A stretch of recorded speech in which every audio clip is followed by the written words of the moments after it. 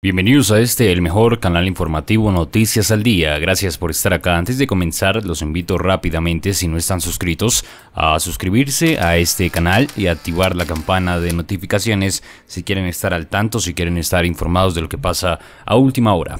Tras la confirmación de contagios en la cúpula chavista, Nicolás Maduro dijo que Venezuela sufre una invasión de coronavirus desde Colombia. El dictador venezolano aseguró que Iván Duque está atacando al país a través de los pasos ilegales de la frontera. Si no fuera por los trocheros, estaríamos disfrutando de la flexibilización total, así afirmó. Antes de continuar con esta información, los invito rápidamente también a que dejen un comentario en este video y un me gusta también para apoyar a nuestro equipo investigativo. De antemano, muchas gracias. Maduro declaró este sábado que Venezuela sufre una invasión del nuevo coronavirus desde Colombia un país al que su gobierno ha acusado de ser responsable de cerca de un tercio de los más de 9.000 contagios confirmados por el régimen.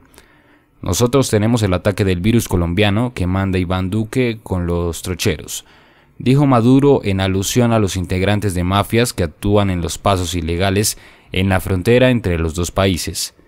Maduro apuntó también a una presunta excepcionalidad del caso local, esto es solo en Venezuela, ningún país del mundo está sometido a una invasión del virus de otro país, añadió durante una reunión de trabajo virtual con gobernadores y alcaldes.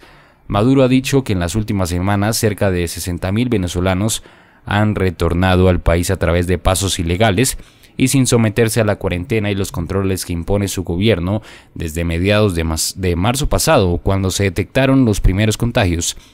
Esta vez el líder chavista aseguró que estos retornados contaminan a su familia y a los vecinos. Al volver de Colombia y otros países contagiados del coronavirus SARS-CoV-2.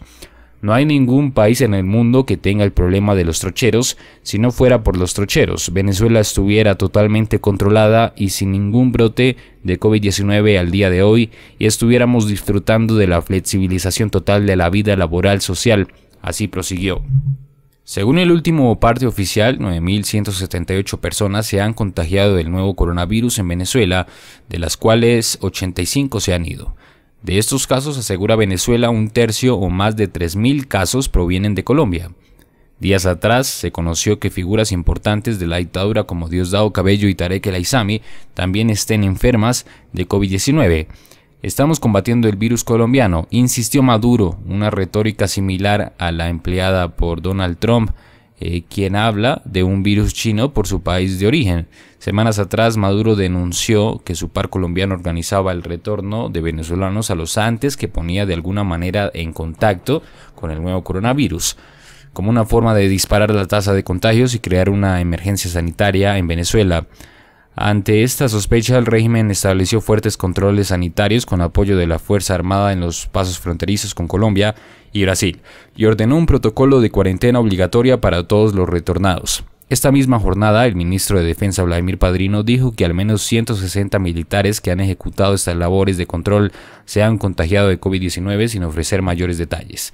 ¿Qué opinan de esta información? Nuevamente los invito a suscribirse y activar la campana de notificaciones si quieren estar informados, si quieren estar al tanto de lo que pasa a última hora. Recuerden comentar y dejar un me gusta. Gracias por estar acá. Esto es Noticias al Día.